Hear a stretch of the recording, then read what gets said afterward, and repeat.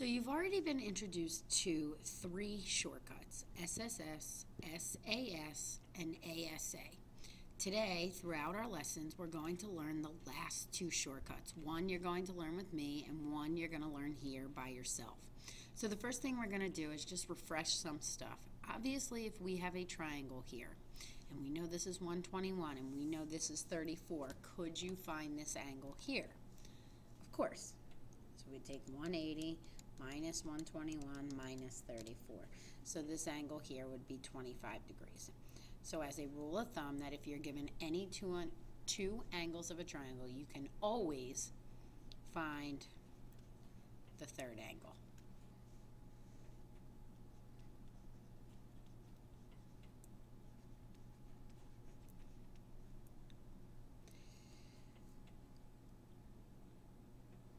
So then, let's go to our next slide.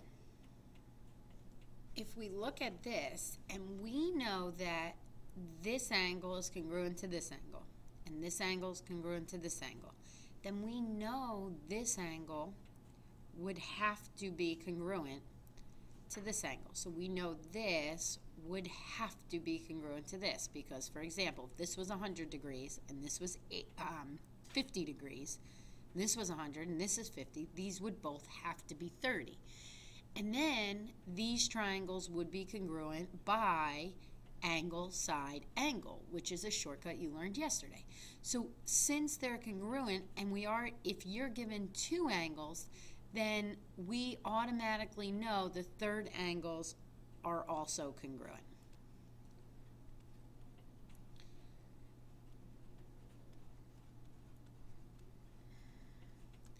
And then I ask you, are the are these triangles congruent? Well, yes, as of yesterday, you know that these are congruent by angle, side, angle. So it brings us to our um, new postulate. And the new postulate is if two angles and a non-included side, the side that is not between those angles, are congruent to the same thing of another triangle, then these triangles are congruent. So let's look. I don't need to put in this angle and then say these are congruent by ASA. If I get this picture, then I can easily say these two triangles are congruent by angle, angle, side, and ABC is congruent to DEF.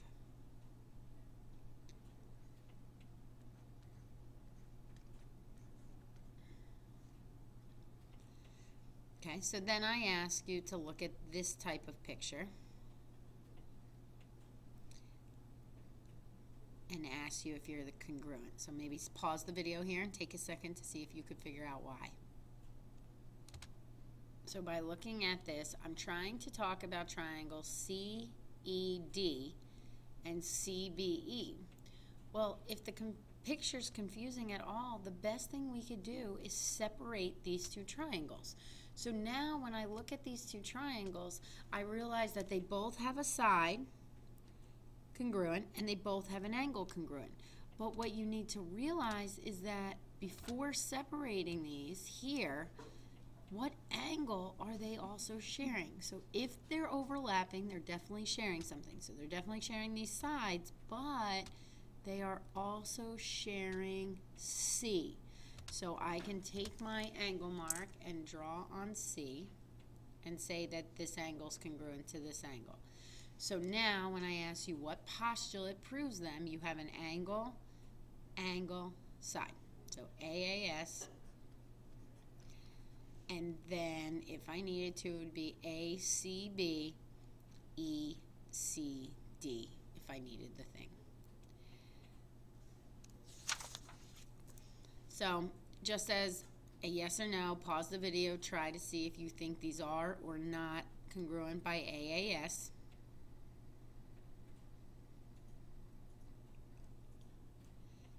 Since it has two angles and the side not in the middle, so it does read AAS, then yes, these are congruent.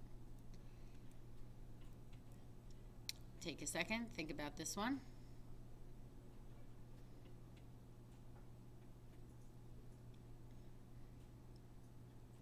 So remember, these two are touching, so I can put this angle is congruent to this angle because they're vertical. Vertical angles are congruent. So that's why I can do that. Now that I have that, I know that I have an angle here, an angle here, and a side, which reads angle, angle, side. So again, yep, this is an example of AAS. Go ahead and take a second, see if you get this one right.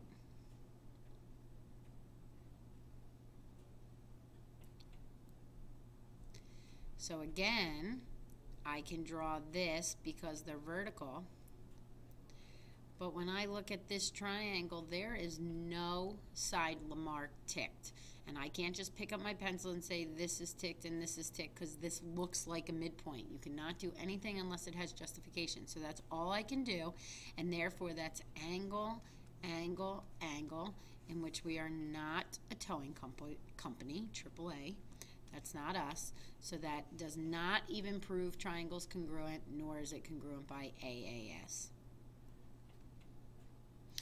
And then this takes us to my, um, okay, why don't you try this one? Go ahead.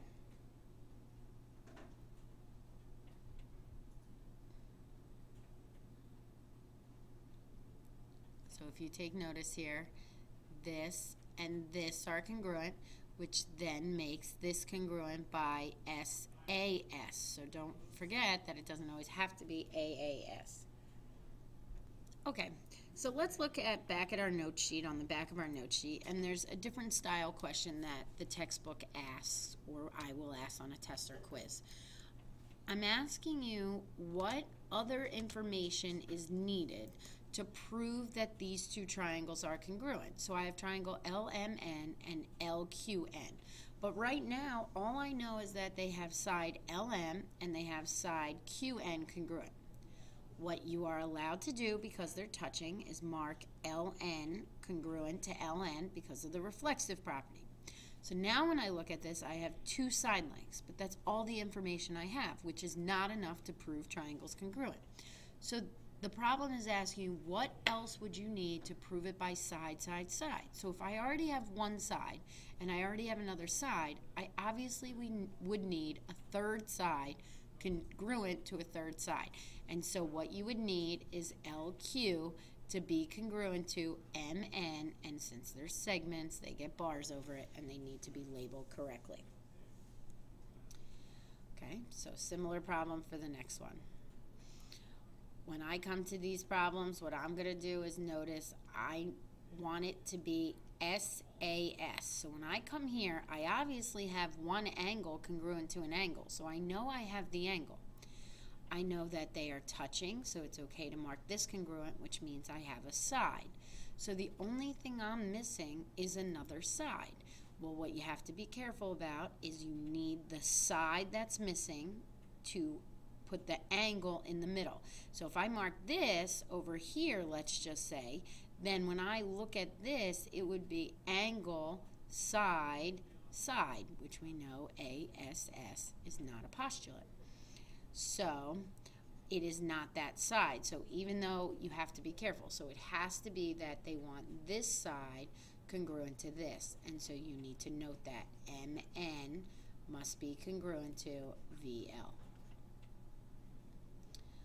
So why don't you go ahead, that was two of them. Why don't you try this one on your own? Pause the video, give it a second.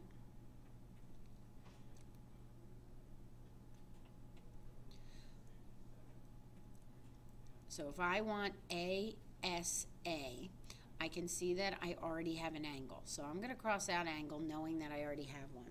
I have nothing else marked, but I know they're touching. So when I come here, I know that this angle and this angle are going to be congruent. So I have two angles. So what am I missing? An S. S stands for a side.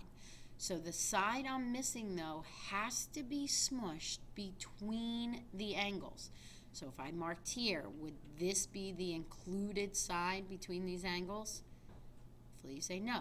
Would this side be between the angles? Hopefully you say no. So here is the side I need that would be between the two angles.